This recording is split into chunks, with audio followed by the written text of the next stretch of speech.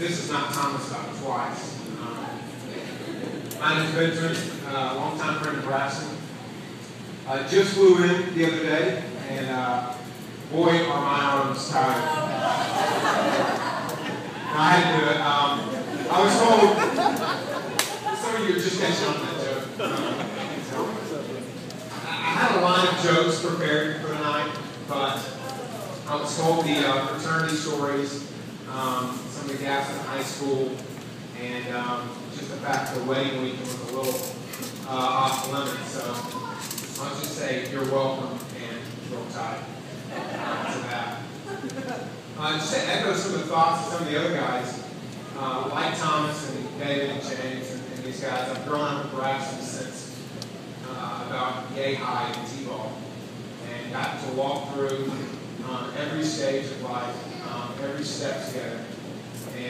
It's been an incredible blessing uh, to walk through the early years of school, um, go through the, the, pains of high school, uh, youth group, uh, entering college, uh, pledging the same fraternity, doing sports, uh, and just life together.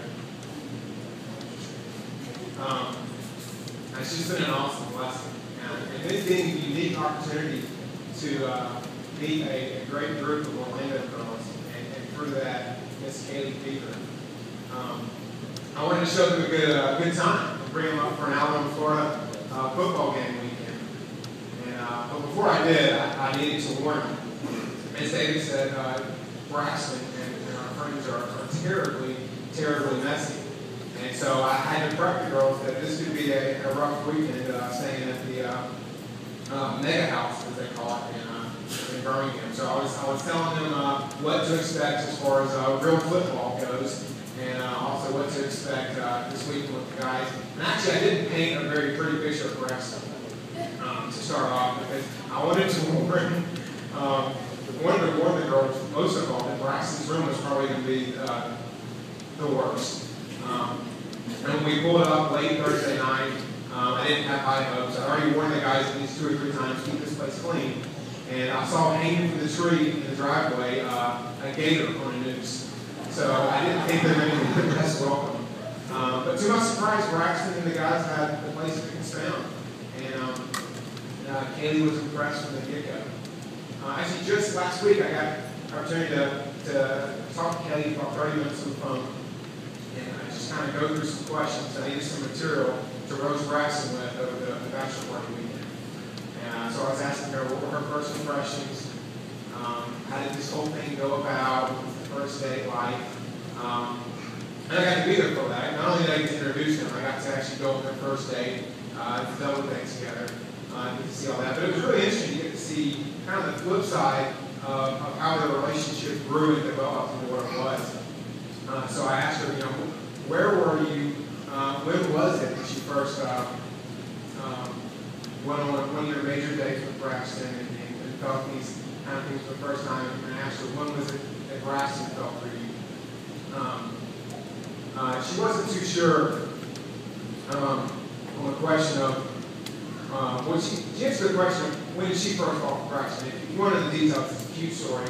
Uh, ask her later, because Katie can tell a story like, like no one else. But what I remember most is when I asked, uh, when, did, when was the time Braxton? When, when did you feel um, that this is it, he was the guy? Uh, the interesting part was, um, you know, Kelly thought for a few minutes and uh, said she couldn't really recall a time that she didn't feel loved uh, by Braxton. Um, that really stuck with me because uh, as a friend of Braxton growing up, um, you always feel the energy. Um, you always feel uh, the excitement about tackling life whatever you're doing uh, together with him. And it's just so neat that uh, you brought that uh, into this relationship. Um, and just getting to see uh, how you've grown as a person recently and how you've grown in this relationship has been um, an awesome blessing. Hey, I made you cry, didn't I? Um, I won't do it anymore.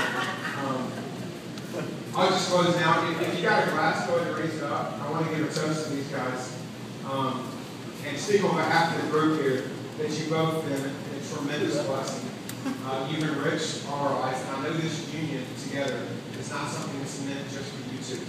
Um, it's meant for your future family. It's meant for the family you've got here, the friends and the community you live in.